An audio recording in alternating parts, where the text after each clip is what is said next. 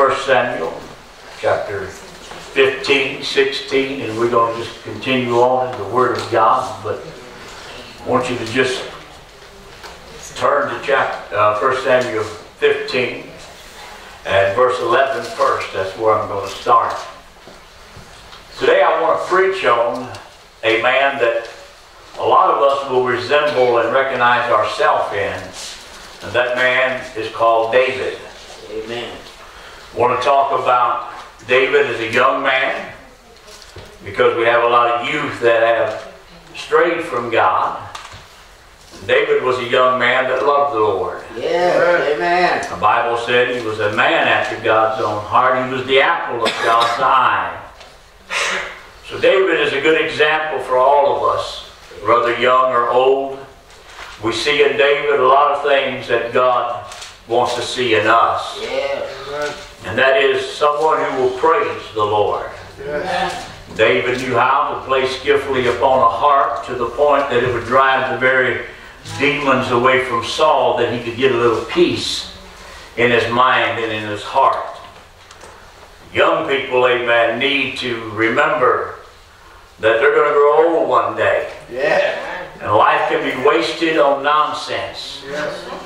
It's best, amen, to know the Lord when you're young and begin to do the things that God has put in your life, amen, and developed in your life, and put those things in action in the world.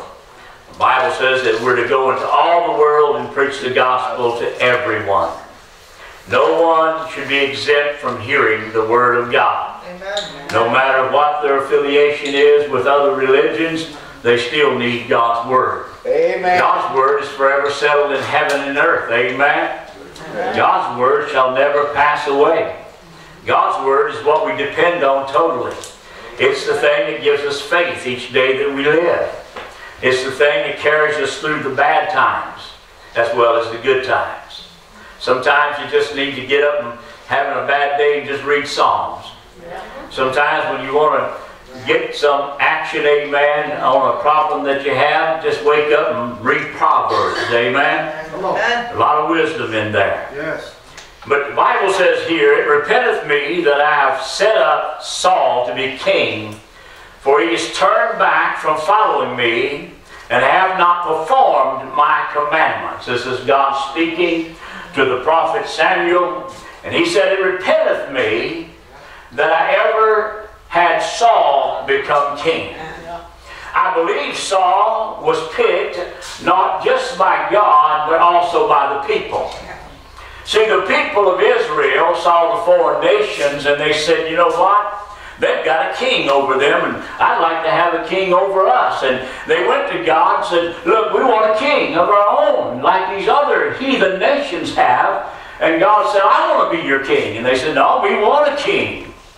And see, when mankind wants something that God doesn't want, He'll give you what you want, but you won't always want what you get. Amen. Amen? Amen. So he had Saul, and Saul was a head taller than anyone else, tall, dark, and handsome.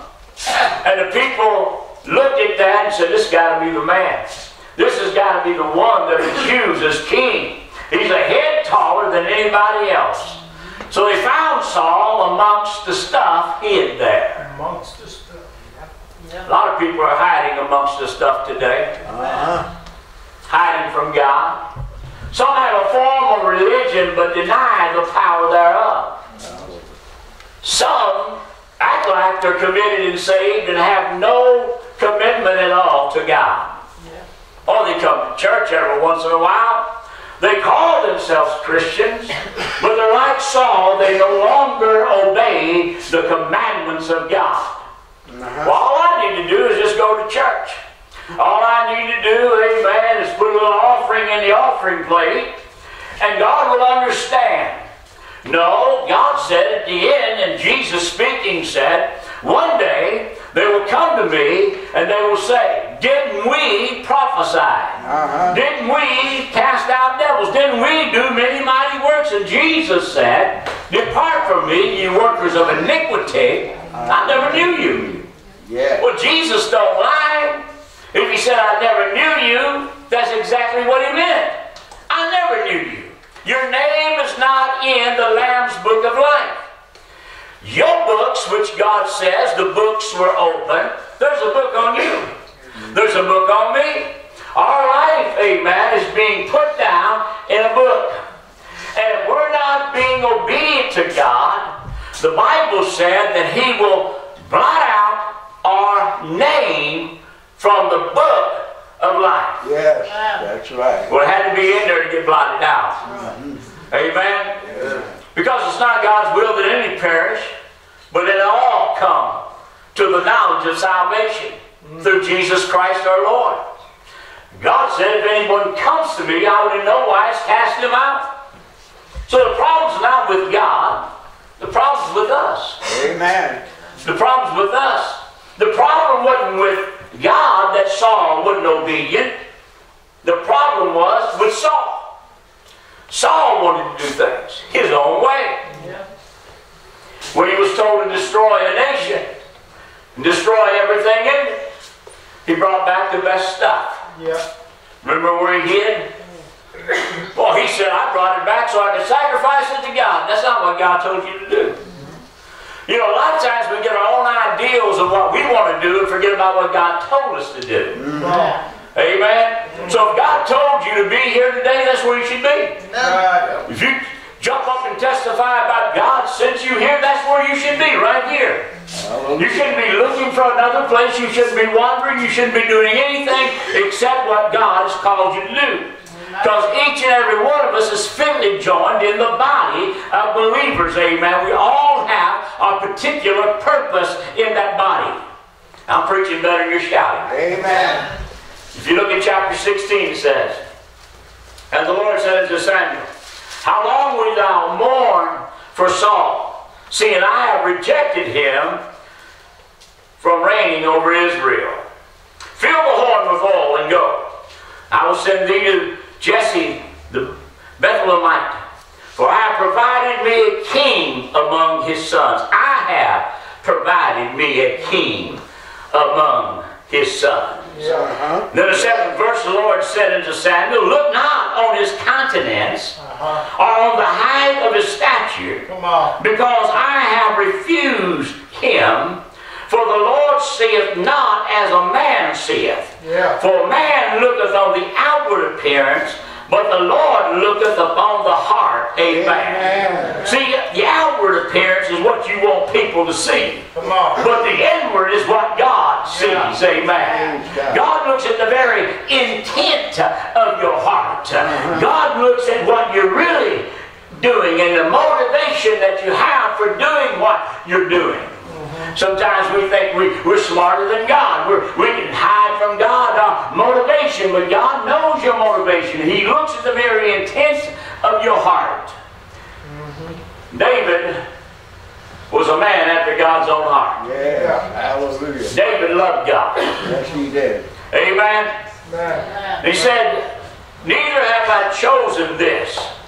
Amen. When Samuel would bring the Jesse, Jesse's children before him, the sons, God would refuse and say, I don't want that one, but he's tall. I don't want him, but he's masculine. I don't want him. I don't want him.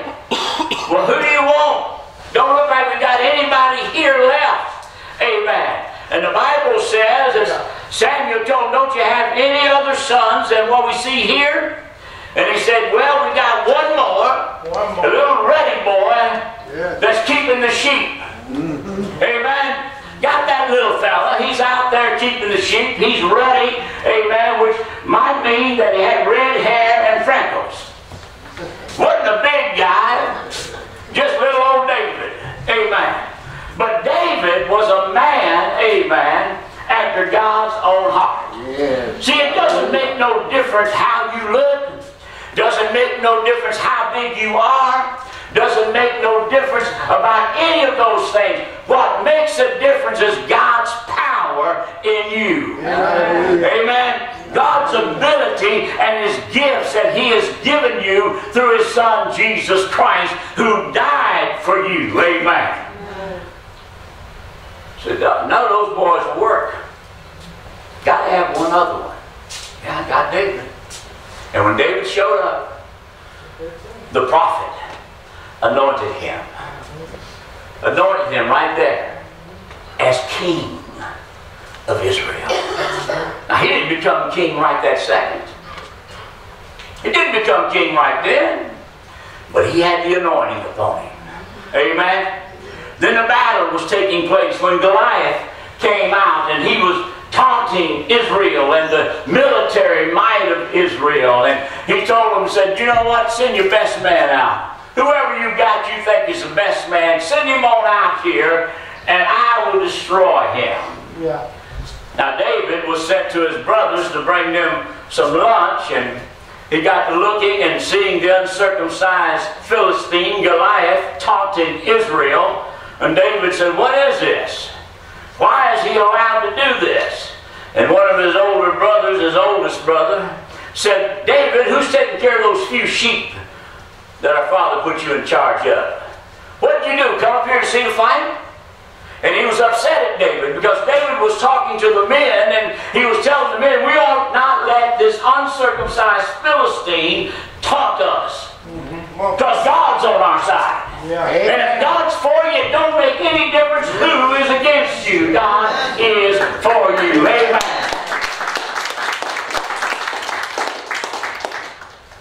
So the king, men overheard what was going on, what was being said.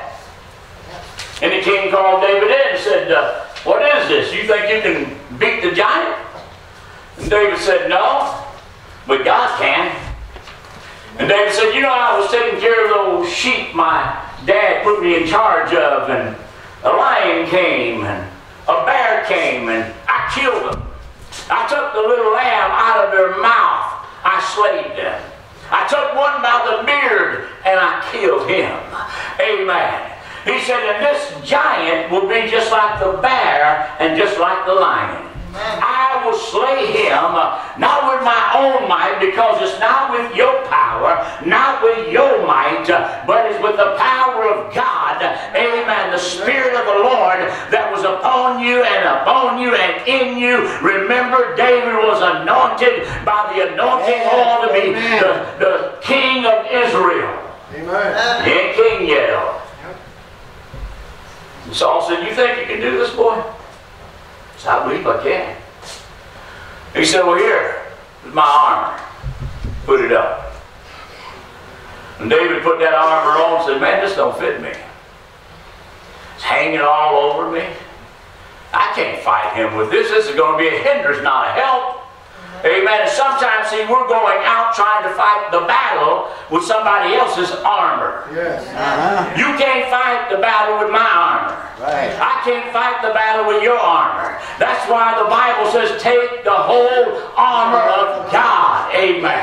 The helmet of salvation, the breastplate of righteousness, our loins girded about with truth. Amen. Amen. Can somebody say amen? Our feet shod with the preparation of the gospel of peace above all, uh, taking the shield of faith uh, and the sword of the Spirit, which is the word uh, of the living God that's able to divide. uh, Amen. The flesh from the bone, uh, the bone from the marrow. God's word, amen, is what we need uh, to Yeah. face the giants that we have in our life. Amen. David said, I can't wear that. Don't fit me. He said, I killed that lion and I killed that bear with a sling. And I hope you appreciate this because I took a whole lot of time building this thing. Sling, five stones. I've been to Israel. Let me tell you, man. I seen them boys throw them rocks you'll hear just like this. Then all of a sudden, that rock will be slung, and man, it hits the mark. They are good. And a rock can kill you. Now, David went down to the brook. And the Bible said he chose five smooth stones. Why do you think the writer wrote that? Five smooth stones. Amen? There was a reason, there's a purpose. He handpicked smooth stones. For one reason, he wanted them to be aerodynamic He wanted them to be able to sail through the air and split the air and hit the mark that he was aiming for. Another thing that some people believe is that Goliath had four brothers, which is not true. Goliath had two brothers. But Goliath did have four sons. Amen. So he might have got it and said, Well, I'm going to get the daddy, and the boys might get mad, so I'll get one for them too.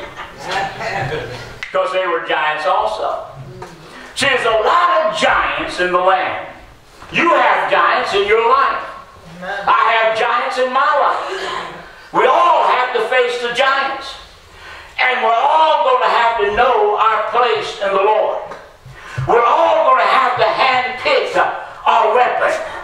We're all going to have to do what God has told us to do, not what someone else has encouraged us to do. You know, people always seemingly led astray because they hear somebody else who says they're Christian. Come on. Everybody that says they're a Christian, not a Christian. Come on. Amen. Everybody that says that they love you don't really love you. See, there's a lot of people that say a lot of things and they don't mean nothing they say. A lot of times people are used of the enemy. And you sometimes, if you don't have your exercises discerned to know good and evil, you're not going to know that. Because they're going to be slick. Even the devil, the Bible says, comes sometimes as an angel of light. Amen. Amen. An angel of light. Wow, that's an angel. It's a bright angel. That's got to be an angel from God. No, not necessarily. Amen. Not necessarily. The devil is cunning. He is crafty. He is deceiving. Amen. And he deceives everyone that has an itching ear to hear a fable or a wise tale that may sound a little better than what God has declared. Amen. Amen. Amen. Yes, sir, you can find a church. You can find a church that allow you to smoke, drink, cuss, commit fornication, adultery, whatever. They're out there. Churches are out there. If you're a homosexual, you can find a homosexual pastor that's willing to pastor homosexual people. They're out there. But is that going to get you to heaven? No. What can wash away my sins? Nothing but the blood of Jesus. What can make me whole again? Nothing but the blood of Jesus. Everything that I mentioned may be a giant in your life that needs to be slain by the word of the living God. See, if you get the word in you, you get the devil out of you. Amen. Amen. Some of you think I'm rough. I was in the office earlier uh, before church started. A friend of mine, I believe it was his church, a woman was up there and she was just getting with it. And I just turned it on and she said, Some of your mothers need to punch your child in the face. I said, Wow, I thought I was tough. yeah, just punch him in the face. Now that's probably inappropriate. Amen. But but people out there, you know, they say a lot of things. Amen. You can't go everything that somebody says. Luckily, no parent turned around and popped somebody in the face. But you know, we hear a lot of things, and, and, and we really don't understand a lot of things because we don't put the time in to understand. See, wisdom and understanding comes from the Lord. He gives you the revelation. David had a revelation. Why? Because David was a man of prayer and a man of praise. Yes. Amen. When David brought the ark back uh, to Israel, the Bible says uh, that David was so happy, amen, uh, that he danced before the Lord with all his might. All his might, amen. Some of you, you get all caught up and say, I don't believe that's God, that boy dancing there. Why, what's he doing? That's not what you should do in church. David didn't say that David danced before the Lord with all of God's might. David danced before the Lord with all of his might. It was a form of praising God that he danced.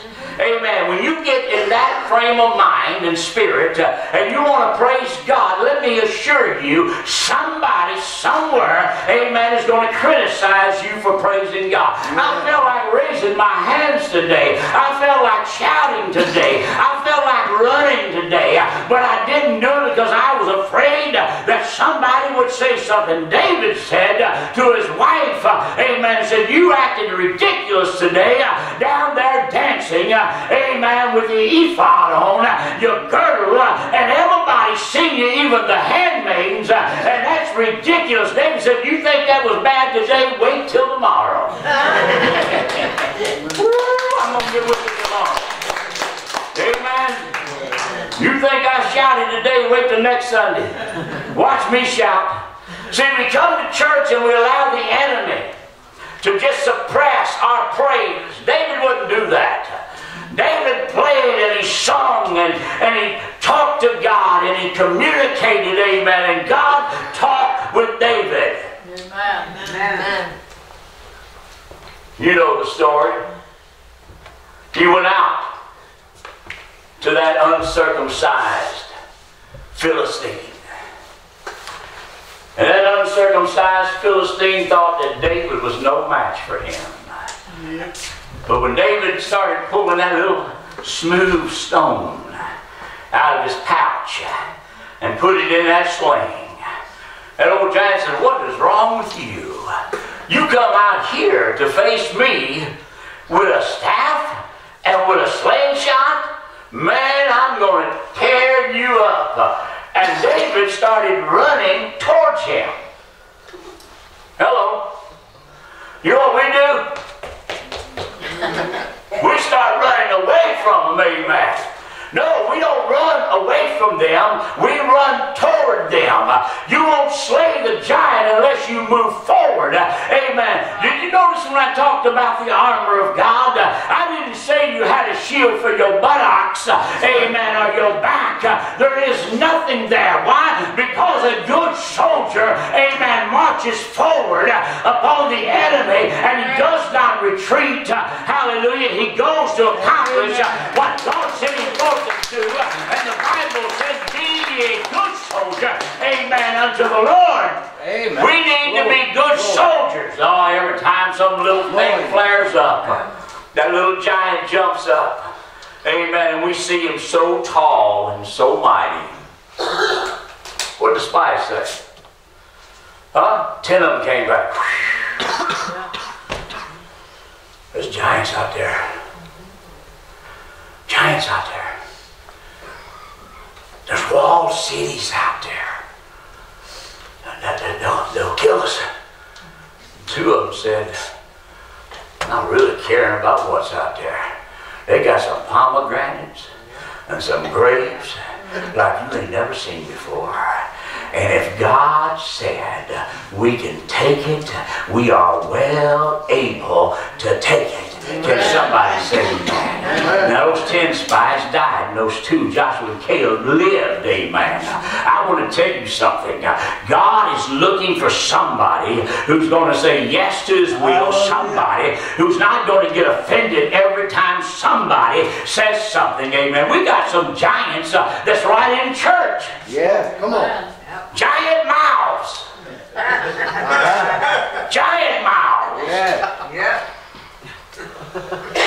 And we don't want to defeat them.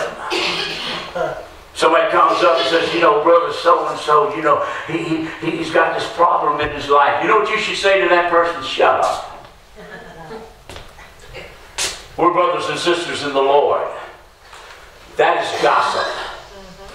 And we don't listen to that. That's right. Instead of rebuking them, what you do? That's the old phone. You young folks folks don't know about it. Young folks don't know about this. Drop that quarter in there too.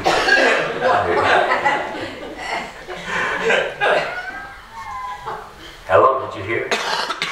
Huh? No, we repeat it. And every time it's repeated, there's something added to it. Yeah, that's right. Amen. Because we want to tell our own story, and, and when we first heard it, it wasn't juicy enough. Come on. Yeah. David's oldest brother said, wrong with you, boy? Daddy left you taking care of them few sheep. Why? Who'd you leave them sheep with? You come up here to spy out us and watch the battle? There wasn't no battle. They were scared. Hiding. David want to know why are you hiding when the giant's out there and he's trying to provoke us to battle? So David said, I'll go if nobody else is willing. And he took that little sling and that smooth rock, and when he let that thing go, it hit that giant right between his eyes. That's what some of you need to do. Hit the giant between his eyes. Amen? Knock him flat to his back. And then what did David do? He took Goliath's own sword. Amen? And beheaded him and showed it to all Israel. This is what the giant should look like. Now we had a saying in Vietnam, kill the head and the body dies. Yes. This is what it should look like right here. A headless body, amen, that can't do anything to hurt or harm you anymore. Now David's done won the king's daughter. She's the one got upset because he danced. So David, amen, didn't have the best wife. Amen? Amen. But he had a wife. David, in battle, the Bible says, the women came out and said, Saul has slain his thousands, but David has slain tens thousand. Saul got a little mad. Several times Saul tried to kill David, but David had opportunity after opportunity to kill Saul, and he never would. He said, I will not touch God's anointed. Amen.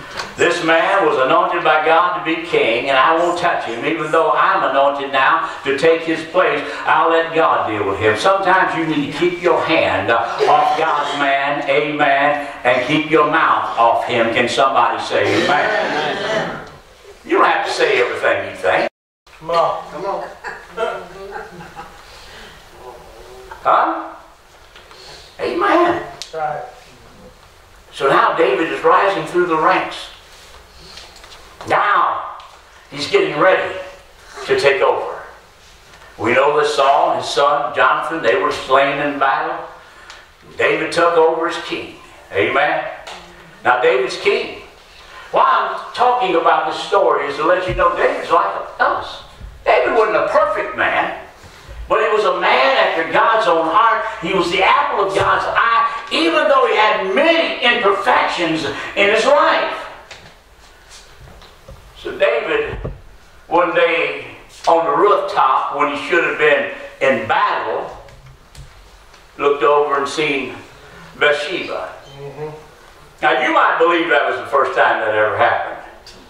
And I don't know because the Bible doesn't tell us. But I think he might have took a few sneak peeks before. Amen? Because it normally doesn't overtake you and get you all at once. See, somebody first asks you, do you want to drag? Mm-hmm. Huh? Take a little puff. Huh? Is that how most of you start smoking? Huh? Most of you start smoking dope. Somebody took, go ahead, take. breathe it in real deep. Get the munchies. That's how you started. Nobody came up to you and gave you a needle full of cocaine and said, here. Huh? Mm-hmm. Or drawing a line on a mirror and said, snorting. Didn't happen that way. It was a gradual thing. See, the devil, he is like a roaring lion, but the Bible says it's the little foxes uh, that spoil the vine.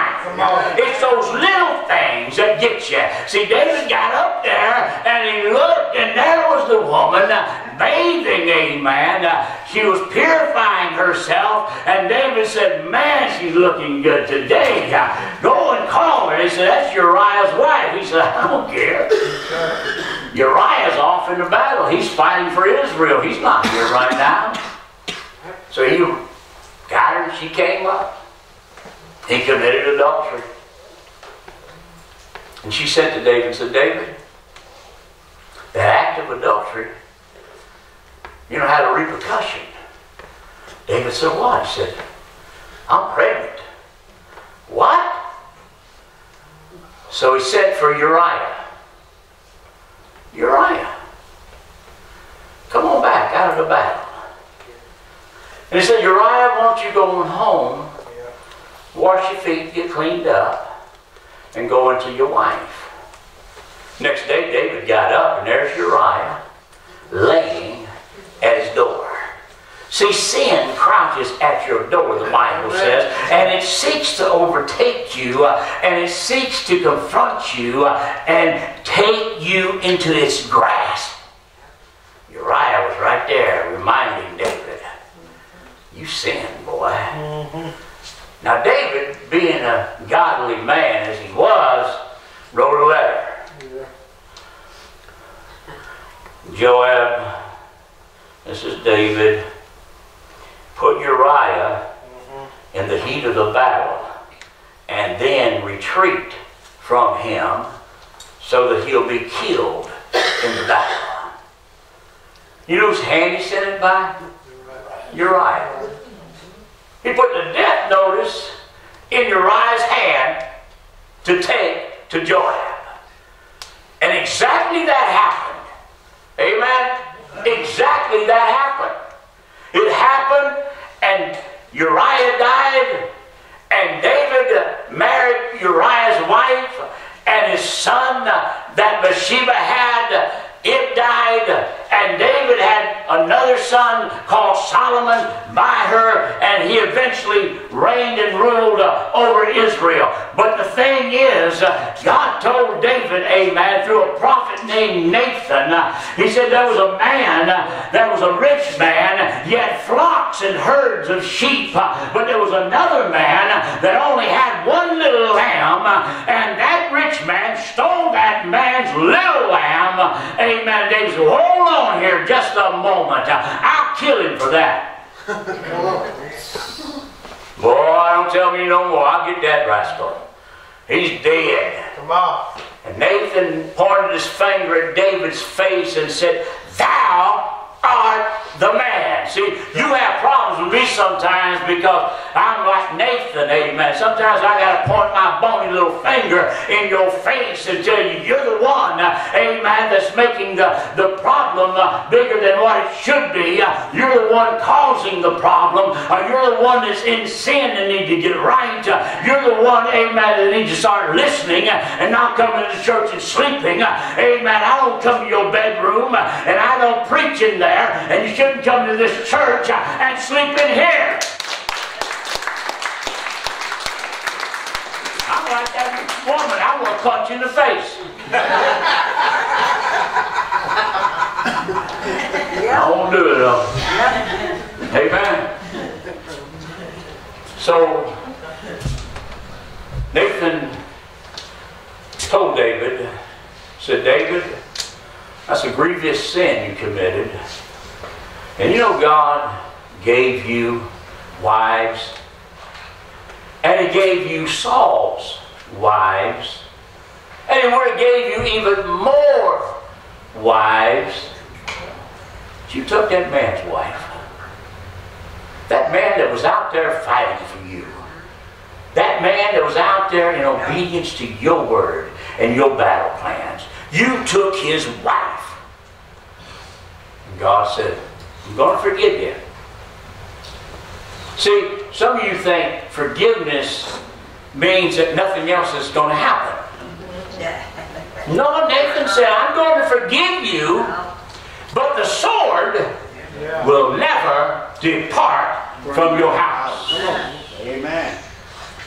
Now, Tamar was David's daughter, very beautiful young lady, and Amnon had the hots for. And Amnon said, I'm going to take that girl. And one day she come in to tend to him because he was pretending like he was sick. And he raped her. Well, she had an older brother. His name was Absalom. These are all David's kids. Absalom was her whole brother. Amnon was her half brother. Absalom said, I'm going to get a plan together sheep shearing time. I'm going to take that boy up there with us, get him drunk, then kill him. So I'm going to do, kill him. He raped my sister. That's exactly what he did. Took him up there, got him drunk, killed him. The sword, David, will never depart from your house. Then Absalom wanted to take over the kingdom. And the Bible says that Absalom was running and his hair got caught in a tree. And he died. One man preached a sermon, Sister Kim, the day God killed the hippie.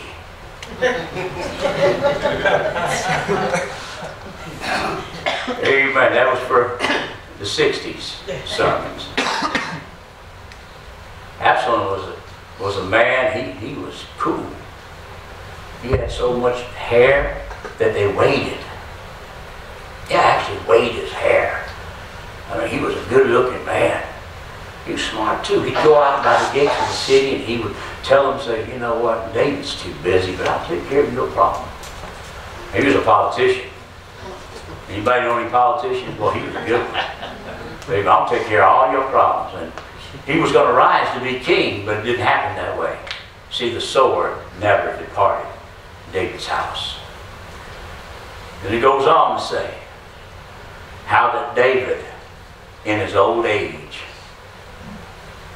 laying in bed, couldn't even get warm, that bring a virgin to just heat him up in the night so he could stay warm. That's in your Bible. See, some of you don't read the Bible. You want to go out and read all kinds of other stuff. There's a whole lot of stuff in the Bible. Amen. You need to read. It's got your war stories. It's got your love stories. It's got all kinds of stories in there that will intrigue you. But see, some is too ignorant. You want to go to the world, amen. Harry Potter and this and that and some other craziness that will get you in big trouble. See, David, he lived for God. He messed up. God fixed him up. It cost him heavily, just like us. But if we remember, as David did, David knew how to praise the Lord. Amen. David knew how to worship God. David knew how to pray. And every time David got himself in trouble, he knew how to build that altar and cry out to God. I'm here to tell you, if you ain't heard nothing else, I wanted to tell you about David the boy, David the anointed, David the husband, David the king, and David the failure, but David was a finisher. He finished his race and still loved God with all of his heart, and God still loved David. Amen. That's where you ought to want to wind up to be in the hands and the heart of God, in love with God, and God in love with you. Amen. Now, I'm going to shock some of you, but the Bible says God hates hello, sin. You didn't know it was in there, did you? God hates Sin. liars. Oh, you didn't know that was in there. Yeah, little ones, big ones, white ones, black ones. All liars shall have their place in the lake of fire. Why does God hate liars? Because truth is the only thing that makes you free. That's right. You live a lie, you live a deceptive life. David, when Nathan pointed his finger in his face, and David realized he was the man, David repented. See, when we realize we're the one God's talking to, we ought to repent. And we ought to say, Lord, that's me. And I stand in the need of prayer. I stand in the need of reconciliation. And the only way I can get that is by repentance and by acknowledging that Jesus paid the price for my sin. Amen. Would you stand to your Amen. feet? Amen. Hallelujah. Hallelujah.